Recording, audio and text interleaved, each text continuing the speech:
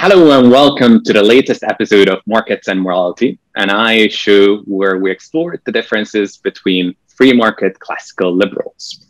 My name is Adam Bartha. I'm the director of Epicenter, a network of nine leading free market think tanks from across Europe.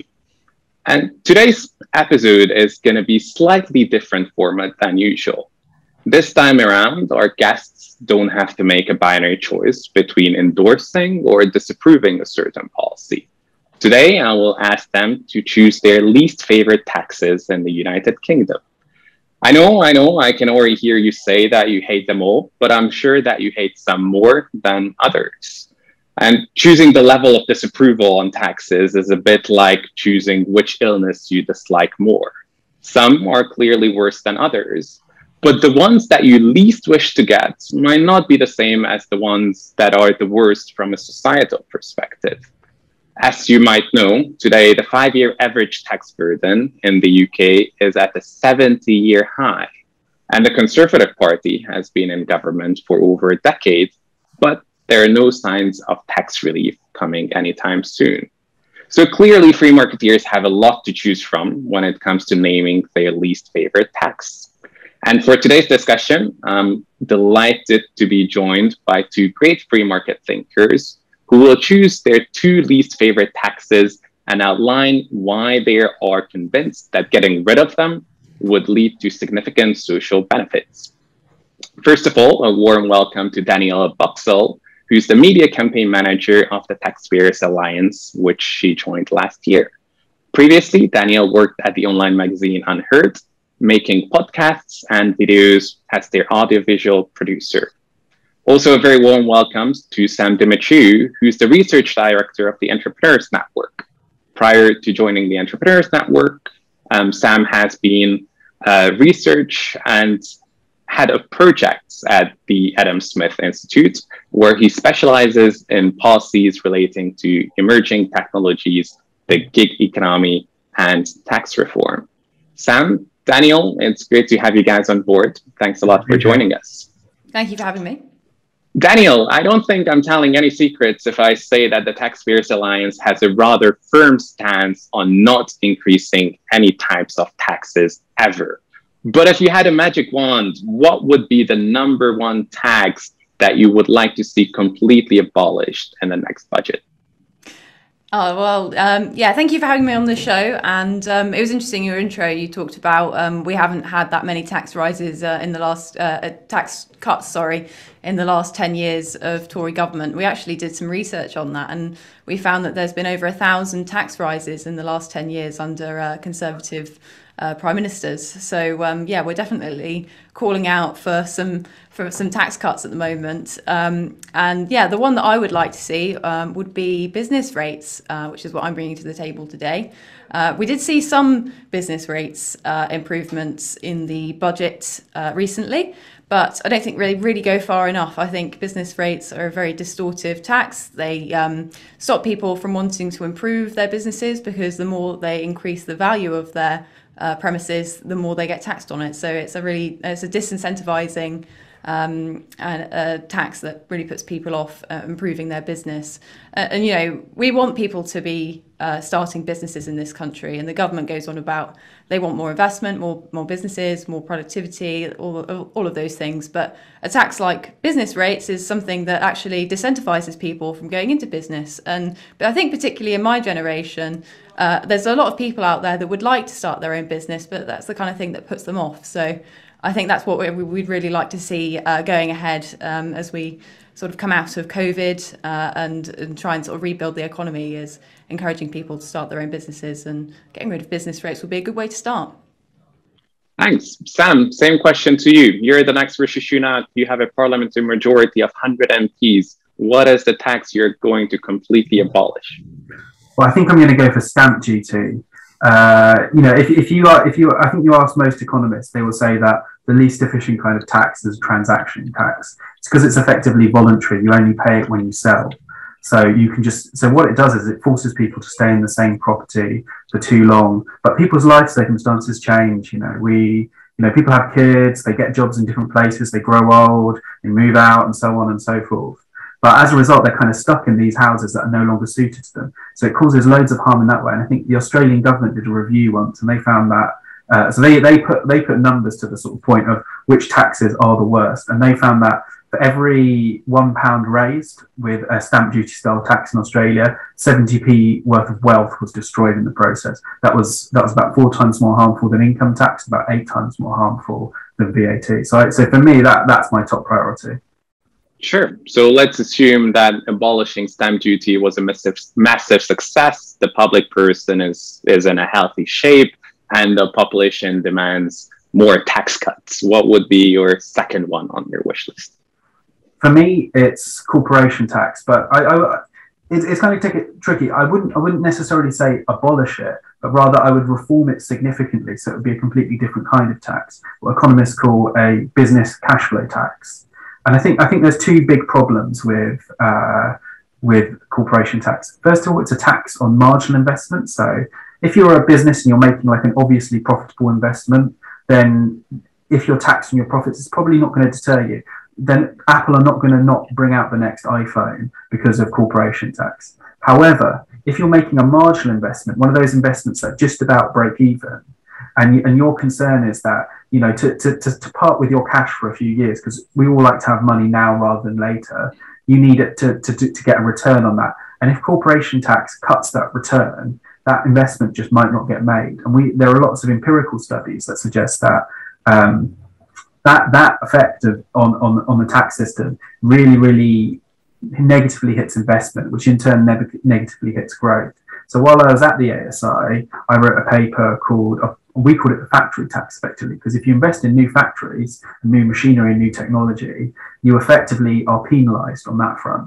And so we, we, we, we did we did an analysis looking at some of the empirical studies. And what we found was that um, if you were to eliminate that part of the corporation tax by saying that any business who invests in new capital can treat that like any other expense, which is kind of what they're doing with the super deduction now, although this is about making it permanent and not making it a subsidy or a tax, but just neutral, it would lead to 8% more investment and about a £2,200 productivity boost, which in terms of wages, that's, that's, that, that's a pretty significant figure.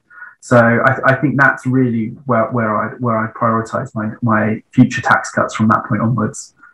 Some convincing arguments, just but before we dive into the details of corporate rate um, reform or, or abolishment, um, Daniel, I would like to hear your second choice as well. What would be the number two tax that you would like to see abolished? Yeah, well, it's not really a tax that exists at the moment, but it's something that we've been talking about um, for the past couple of years, I think, uh, the last year specifically, um, since coronavirus. Uh, and that's the sort of online sales tax in many different forms, whether that's a sort of digital services tax or a delivery tax or something like that. But basically, anything that um, impacts people um, either buying or selling things online, uh, and also various tech companies as well. So basically, anything to do with with the internet and internet-based businesses, which is one of the biggest growing uh, sectors in you know our economy and, and the global economy as well. Sure. Um, interestingly enough, the public has somewhat different opinions than you two. Usually, the top three most hated taxes are inheritance taxes, council taxes, and stamp duty that Sam did mention. Um, all of them that are chosen by the public are paid by individuals, whereas you have mentioned three taxes that are paid by businesses and one type of tax that are paid by individuals. So, how come most of your choices are related rather to business taxation instead of taxes on individuals? Shall I, oh, sorry. I shall I jump in first? But uh, I'll let you go, Sam. I was just going to say businesses don't pay taxes because businesses are ultimately a group of individuals. So, so any tax upon business has to go somewhere. So it can go to the consumers, it can go to the workers, it can go to the shareholders. But ultimately, someone has to pay. And so all taxes are really taxes on individuals. The reason that taxes on businesses are more popular than taxes on individuals is because the impact, the direct impact is obscured. You don't see those second, third order effects. Yeah, that's exactly, anything to add? That's exactly what I was going to say. You know, like the TV li- the TV that you have in your house, that doesn't pay the TV license, but uh, you still have to pay it yourself to watch the television. So, you know, to use a business, you still uh, might not be paying a tax directly, but they as, as in the business might not, itself might not be paying that tax but other people are so you know wh- whoever get feels it at the end it, it, impacts our society it impacts our growth um, our productivity and all the things that we want to have a healthy and, and growing economy Sure. Um, Dania, I would also like to dive into the business rates a bit mm. more deeply um, because land value taxes are actually quite popular in some free market circles. And business rates are partially a tax also on the value of the land that the business sits on. So, do you think that business rates should be completely abolished, or do you actually see a way that it can be reformed so they turn into some sort of land value tax that economists and free marketeers tend to like a bit more. Yeah, so it's quite an interesting one. I think that land value tax uh, was actually proposed by the Lib Dems in 2018, uh, and they did a, a, sort of report on on what they would like to see, and it was very similar. They want to abolish business rates uh, and replace it with a sort of land value um, tax. But um, from a sort of personal point of view, I think it, that that's not really sort of you're not really fixing the main problem there. And the main issue is that, you know, uh, businesses have to pay rents if they don't own the property itself, which most businesses, uh, particularly on high streets and things like that, they don't actually own the buildings. Um, but so they have to pay their rents and they also have to pay the rates. So you're getting rid of the rates, but you're effectively then moving that onto the landowner, who's then going to put it on the rent. So the businesses will have to pay it one way or another. So I don't really think that's sort of making a challenge on the actual problem there, which is that the fundamental truth is that the tax on businesses is too high. So if we then move it onto the landowners, they're going to get um, that offset onto um, the businesses anyway. So they'll still be paying it one way or another. Uh, and then the other sort of problem with uh, that idea, I think, is the way that you value land is very difficult. You know, when you have a house, part of the reason that you can value the house is because of where it is, what's nearby it. You know, is it near a train station, a school? Uh, it's the same thing for a business. Is that business near other businesses? If it's you know in the West End, it's near other sort of entertainment, uh, restaurants, all that kind of thing. So that might be a reason that it's, it's worth more than, you know, say something in the suburbs uh, that you have to drive a long way to. So it, it, it, would be quite difficult to work out what the true value of the land is rather than just the, the sort of like surroundings as well. And I think the amount of bureaucracy that that would entail, you know, businesses already have to do so much red tape at the moment. Um, that, that, that, that wouldn't really improve, improve the, the, the lives of many business people in the country. So it's easier to get rid of it completely rather than reform. Yes, I think the, the the the, ideal is that we have a simpler tax system. Um, I've seen some people say that you know obviously it's a very big money spinner, um, and the way to sort of improve it is to get rid of it, not have this sort of like land value tax um, system, but use the um, VAT system to um, in- increase the revenue for the Treasury, which is a simpler way of doing it. So, you know, it does it does make it more efficient, um, and it makes it more e- more easy for the business to say, "Oh, yes, well, that's going there, that's going there." There's less less sort of accounting dilemmas there, so it makes it easier for them. But at the end of the day, that also does impact the consumer, and the consumer is facing, you know, a 70 year high tax burden, as you mentioned uh, at the beginning of the show. So, you know, it's a difficult one. We just, yeah, want to see taxes cut across the board, really. Sure. Sam, you have mentioned stamp duty as your number one tax that you would like to get rid of. And there you seem to be agreeing with the public quite a bit because the public usually chooses in their top three as well.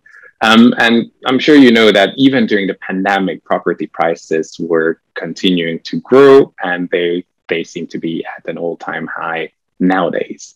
Um, partially, some people were ba- blaming the temporary lift on paying stamp duty uh, for that continued growth of property prices.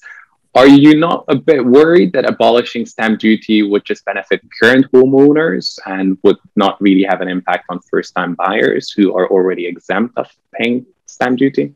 So I think you're right to say that the benefits will mostly flow to homeowners initially. However, um, I think everyone is harmed by stamp duty, including non-homeowners. When you have to think, you have to think about the long-term harm. So if you reduce moving rates, what that means is people are stuck in houses that are not suited to them. Think of the old lady that's in the house that's way too big for her now that her kids have moved out, her husband's no longer there, and she actually wants to move into a care home, but she doesn't want to be hit with this massive stamp duty bill. Now, she's probably not going to sell to a first time buyer. She might be selling to a third time buyer. but that third time buyer might be moving out of a house, which is they're then going to sell to a first time buyer. So even gumming it up near the top can create problems near the bottom. And you've also got to think of the other harms of stamp duty. So if people are moving less, people aren't uh, spending on things like uh, home renovations, home improvements. So one of one things we know is that not not in the most previous case because we didn't really we weren't really allowed to do much uh, last year. But in general, when there's stamp duty cuts, you see a you see a pickup in lots of uh, building work. You see a pickup in sort of you people buying new sets of furniture, new things like that. So it, so it not, has knock-on effects across the economy. It's also got a productivity impact. If you're not in the right place uh, where the best job is, then you're going to be harmed if you can't if you can't if you can no longer move to that location. And as a result, if you don't make that move, then you're going to be you're going to miss out on working in the best possible job. And that means productivity is going to decline across the economy. That means less stuff is being produced. That means it makes us all worse off. So there's lots of ways where it can where it can harm you. But you are right to say that the benefits a lot of the benefits will be captured by land landowners. And i think that's in generally a problem uh, if you with with property taxes there's that uh, if you cut them, the, the, benefits will go to land, la, la, um, the landlord or the property owner because the supply of property is very, very tight. Now, if we had a really reformed planning system, you might see those, those benefits becoming a bit more diffuse. But when, when the number of houses effectively capped at a certain level, you know, we, we can't really build more, we can't really build enough to, to meet demand at the moment due to planning regulations, then a lot of those benefits go to go to homeowners. And so that, that, that, that is a problem. So that's why I, I favour replacing stamp duty with something like a uh, something like a proportional property tax with a bunch of protections baked in. Uh, but yeah, I think it's a, it's a, it's a key, it's, it's a reasonable concern. Sure, that makes sense. Um, moving to your second choice, Sam, you mentioned corporate tax as the second one that you would like to get rid of, where you seem to be going against the zeitgeist quite a bit because there's a lot of discussions nowadays in developed countries about um, harmonizing corporate tax rates and setting minimum rates. Um, you know that there is an OECD proposal, um, which might be the first step in this direction. Do you think that there is any scope to maintain international tax competition? And if so, can or should the UK government actively try to encourage it? Yeah, I, I, th- I think that's a really interesting question. So, so my concern with corporation tax is mostly around the base, how the tax is actually designed. So my key concern is first that we we don't treat all types of spending equally. spending on long-term investments is taxed at a higher rate than spending on short-term spent, you know, buying pens, paper, staplers, or whatever. Um, and so that's my first concern. My second concern is that we it's not symmetrical as a tax. So uh, you're taxed on the upside, but you're not subsidized on the downside. So as a result, if you're taking a risk, uh, a higher tax rate is going to burden you. So if you can fix those things, and there is a way of doing that by turning into a business cash flow tax, where you're effectively taxed on your free cash flow rather than uh, what's defined as corporate profits for corporation tax. So I think that that would solve the problem. Now, if there was tax competition on that front, it's probably not the most like valuable form of tax competition, and rather tax competition in that case then starts to take place on things like income tax and things like that rather than business taxes. But if you've got a situation where you're not going to fix uh, th- these like underlying problems with the way corporation tax is designed, then any anything away from any sort of reduction in tax competition is probably going to lead to less investment uh, and less international investment too. But there was a proposal by um, economist recently who used to work for uh, George W. Bush uh, and he, he had an article in the Financial Times, and his, his suggestion was let let sort of um, come to a compromise. We can have a global minimum minimum corporate tax, but let's define the base as uh, a cash flow tax. What that will do is that will shift everyone who doesn't have a cash flow tax at the moment. That will mean that the, each time they, they try and become more competitive as a tax system, their first priority is going to be moving to full expensing. It's going to be uh, making sure loss carry forwards are properly designed so that uh, if you if you lose money uh, in one year, you can write that off against your losses in a future year with a with an interest factor adjusted. If you can fix those things, then it can be really, re- it can be actually a, a, really positive form of tax competition while removing some of the negatives because we don't really want businesses to move from somewhere where they're perhaps most productive to the country with the best tax system, but maybe not the best land or the best workers. So I think I think they're right to think about tax competition, but they're wrong to think about corporation tax as as something you completely want to eliminate tax competition. Really, you want to eliminate some forms of corporate tax competition. And do you see any hope that these kind of ideas that you have outlined are gaining traction, or do you think that the way the OECD is conducting these negotiations at the moment is going down the wrong path? It's an interesting question. So I think there's there's one way of doing it where essentially you shift corporation tax to something that looks at sales in a way that's similar to VAT. This was a proposal that Donald Trump was considering. Uh, Paul Ryan came up with the idea, kind of. Uh, exactly, and what economist at Oxford came up with it. Then Paul Ryan saw it. Then it nearly was in Donald Trump's tax plan originally, but got, but got dropped at the last minute. So that's one way of doing things. And actually, some of the negotiations at the OECD hint towards that kind of system emerging in the years to come. Another way of doing it is is company is countries might say, look, we're happy to raise our minimum tax rates, but we want to define the base in a certain way. And there are there are good ways and bad ways of doing this. So one of the bad ways is what we do at the moment, which is called uh, the patent box. So if you have a patentable innovation, you pay a different corporate tax rate. Now, if you want to eliminate complexity and uh, not try and pick winners in the economy, you wouldn't tax patentable innovations at a lower rate than non-patentable innovations. In fact, the economic case for taxing patentable innovations is probably weaker because at the end of the day, if you've got a patent, that gives you that's kind of the incentive for doing that kind of innovation in the first place. So I think I think there'll be debates over the base, and I can see the future of competition being based around the tax base rather than tax rates. But the question is, can we define what we want that tax-based competition to look like. And I think that's something politicians haven't really thought about. But if you if you're Rishi and you've got the super deduction, uh, you don't want to accidentally uh, rule out your flagship corporate tax policy when you define what the right base for, for international taxation is. Sure. Um, this is a question to both of you, but I would like Daniel to address it first. Um, Daniel, you have mentioned that you would like to get rid of business rates, and business rates account for 24 billion uh, pounds income, or roughly 3% of the annual budget of the UK. Um, how would you replace the lost income to the Treasury if you abolished business rates? Or do you, in general, prefer to cut spending instead? And if so, in which areas? And of course, this question is applicable to any sort of tax cuts in general. Yeah, I mean, I don't think it's really a question of either or necessarily. Um, I think that's a very sort of like a blinkered view of looking at how the economy and taxation and how the Treasury uh, generates its income. Um, and I think you know we've sort of lost this idea that when you when you cut taxes, it can actually be a net positive for the Treasury because it, it creates economic growth, it creates productivity, uh, and when people have more money in their back pockets, they end up spending it elsewhere. So that you know goes to um, if you're a business, for example, you might end up hiring a new employee, or you might um, expand your shop front, or you know make your premises more attractive, and that all contributes to the economy at the end of the day, which in turn generates an income for the treasury. So I don't think it's necessarily the case that cutting taxes is going to be a, a net loss for the treasury at the end of the day. And you you know you've got to look at these things from a, a long term perspective as well.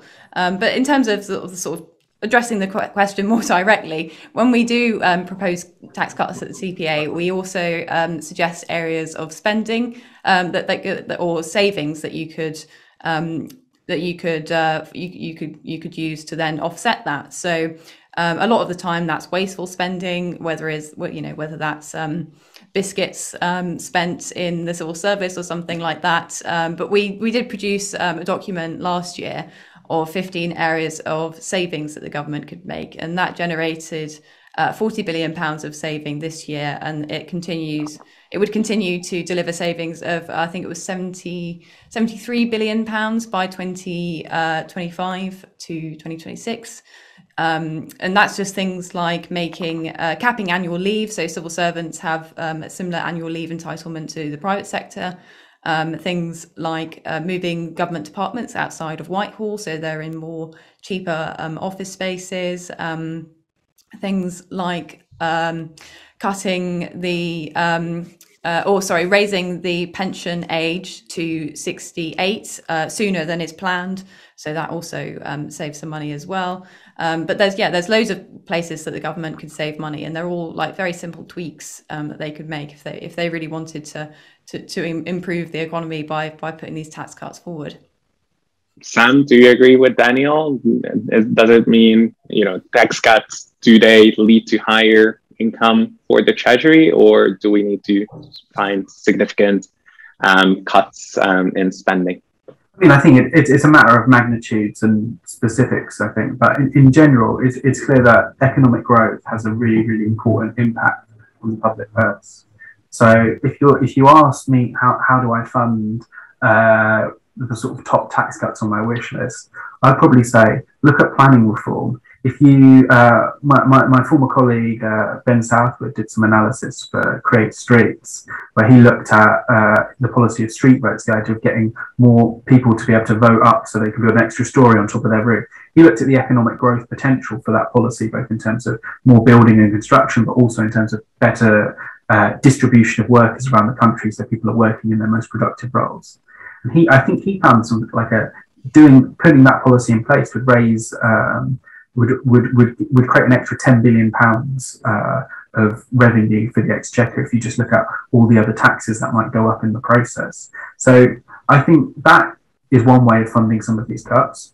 Obviously, when you cut corporation tax, if you cut it in the way I've suggested doing it, uh, by looking at full, by looking at something like full expensing, that will lead to more investment. That investment both will increase VAT receipts, it will also increase workers' wages, and those workers' wages will ultimately uh, be, be, be, become income tax receipts. So, so the actual fiscal impact of these taxes, um, cutting them, is probably going to be lower than you think. But at the same time, I don't think we should assume that all tax cuts always uh, raise revenue. I think that that's unrealistic.